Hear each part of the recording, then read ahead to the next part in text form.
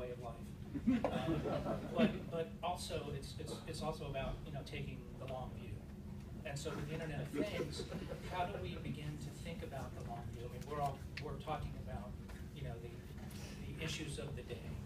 Um, you know, whether it's legislation on, on smart cars, um, HHS last week issued, I mean, five hundred pages of impenetrable regulation about electronic health records devices.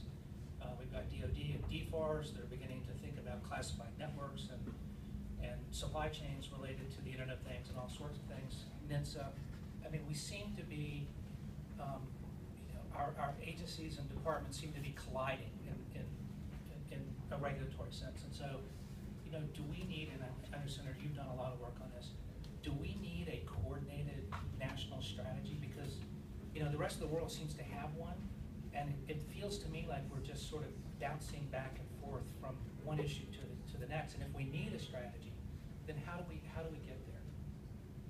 Well, I, I think you're right, we need to take the long view, and let me just say a, a couple of things about, about some positive movement.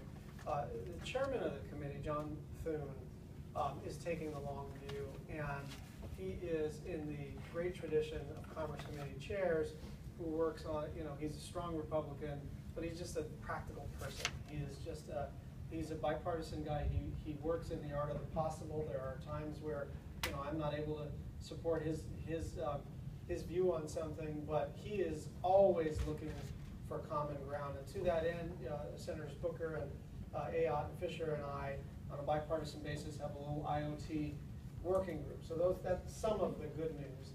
Um, the, challenge right now, even within the working group, is this sense that um, is this false choice between the sort of heavy hand of a, of- of premature overregulation and doing nothing and allowing the private sector to flourish, right?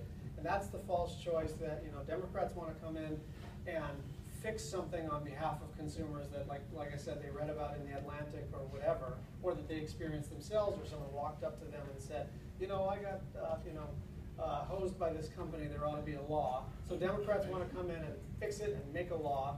And Republicans right now, their instinct is to say, this thing's flourishing, um, we gotta push back against Democrats who wanna ruin it, you know?